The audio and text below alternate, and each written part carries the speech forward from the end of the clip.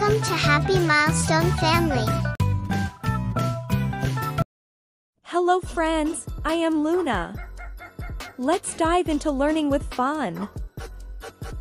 Hello friends, join Luna on a cute and cuddly adventure as you learn the names of adorable baby animals. Let's begin.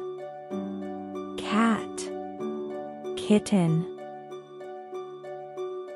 Cats have tiny kittens, the fluffiest ball of fur you've ever seen. Bear Cub Bears have cubs, snuggly bundles with a wild spirit. Goat Kid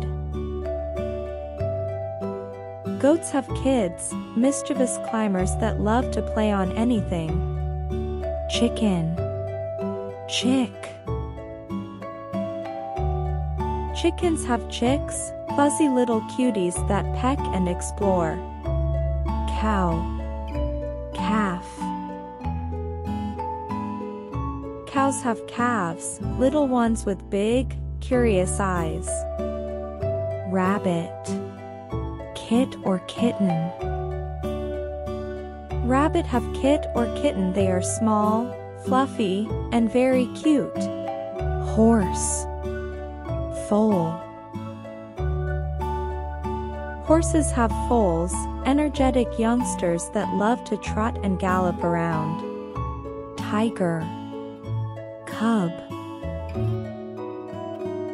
Tiger baby is called a cub a very adorable and has soft, fuzzy fur. Fox. Kit. Fox have kits. Cute, smart and the clever ones. Dog. Puppy. Dogs have bouncy puppies, like little bundles of energy. Kangaroo. Joey. Kangaroos have joeys, snug and cozy in their mommy's pouch. Pig. Piglet. Pigs have piglets, tiny pink bundles of fun. Sheep. Lamb. Sheep have lambs, fluffy balls of wool that hop around like springtime dancers. Elephant. Calf. Elephants have calves, the cutest giants around.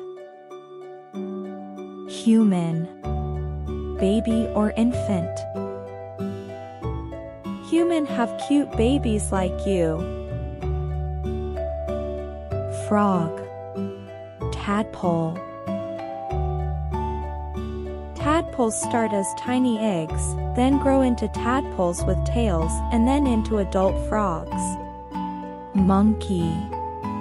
Infant Baby monkeys called infants need a lot of care from their moms. Owl Owlet Owlet usually stay in their nests and are taken care of by their owl parents. Deer Fawn